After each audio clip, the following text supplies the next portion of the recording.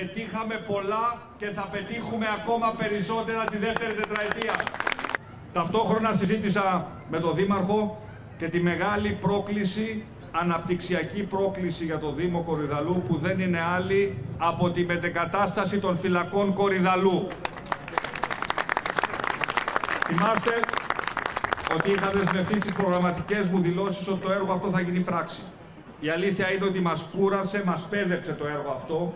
Είμαι όμως πια απολύτως βέβαιος ότι θα υλοποιήσουμε τη δεύτερη τετραετία αυτή τη δέσμευσή μας.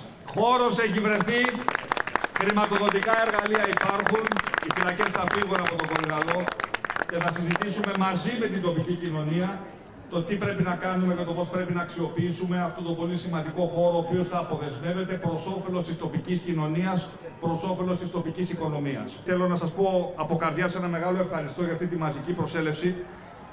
Αν κρίνω από την ε, παρουσία ενός άλλου πολιτικού αρχηγού εδώ πριν από κάποιες εβδομάδες, η Νέα Δημοκρατία θα είναι πρώτη πολιτική δύναμη και στο Κορυδαλό και στη Β'